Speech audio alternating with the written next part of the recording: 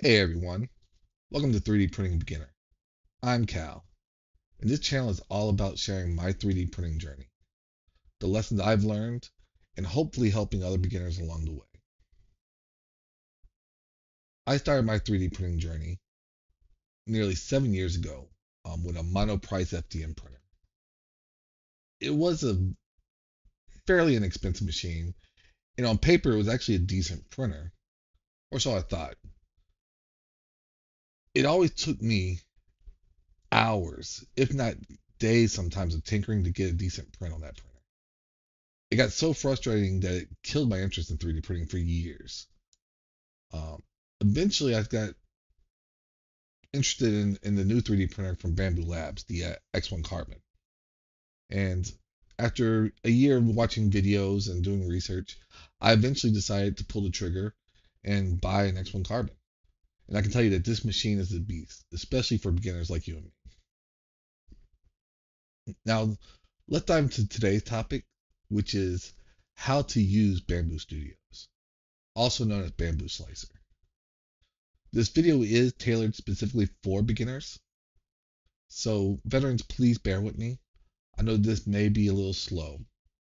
Um, advanced videos are in the pipeline, uh, so don't worry. And if y'all do have any advice or want to correct anything I've said, please let us know in the comments what what I have wrong and what we can do better. So, what is Bambu Studios? Bambu Studios is a slicer for 3D printers. Instead of delving into the complex details of what a sli- slicer is, let's just keep it simple. A slicer is a program that breaks down your 3D model into instructions for the printer. Those instructions are often referred to as G code, so you may see that those terms when when looking around the, the internet for more information.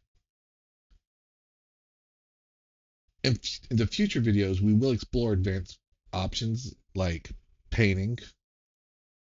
Um, we may also explore uh, adding text, resizing, um, and know how to cut a model. Um, but for this video, we're just going to explore the basics, like how to import and open a 3D project model slash model, and the essential settings to slice it before sending it off to the printer. So for most beginners using Bambu Studios, will likely be tapping into the Bambu Labs Maker World. So Bambu Labs does have their own website where you can go and find and print 3D models.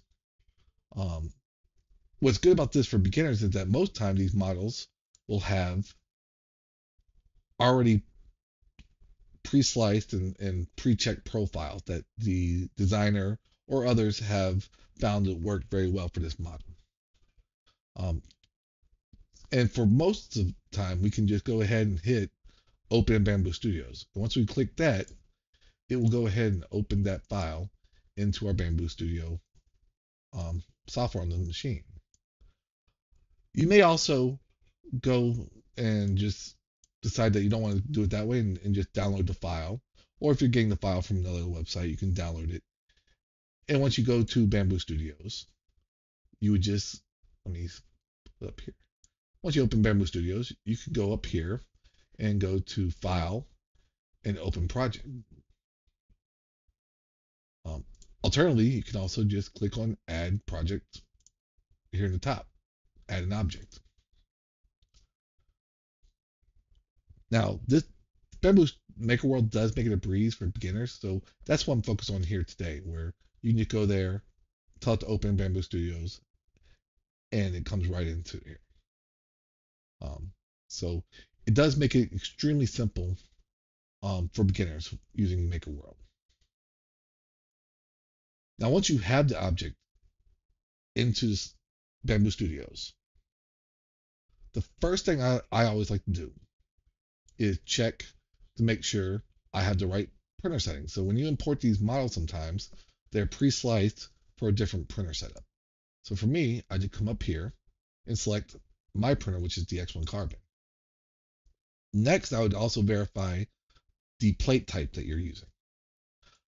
I highly recommend for beginners the gold textured PI plate from Bambu Labs. I have had massive success with the PI plate, the textured PEI plates. Um, I don't know if veterans would would recommend that as well. I'd like to hear from you, get your opinions, but for me, the textured PEI plate makes everything a breeze. Next, what I do is select the colors that I want my model to be. And first, I like to synchronize the colors that I currently have in the AMS. And this will then put up the model, the model color or the color you have in your AMS. And you can select which color you want for your model. Um, alternatively, if you don't have an AMS, you can just select what filament type you'd like and the color you would like. Next step would be selecting the, the object and then choosing what color you want to be using from your AMS. Or if you just have one color on the back of the printer, you, it'd be that color by default. Then it comes to our final step that we can need to do and check before slicing, and that's checking your layer height or your quality. So layer height is going to depend on what type of quality or slash fine details you can get out of your print. The lower the, or the smaller the layer height, the finer the details you can get. Um, I typically just use a 0.2 standard, um, which is the default that they have set up for the printer. It works fantastic. Uh, during Christmas, when I'm printing gifts for my nieces and nephews, I did use the 0.2 strength um, which I believe increases the wall and potentially the infill, the number of walls in the infill density. Um, those are settings that we will get to in future videos.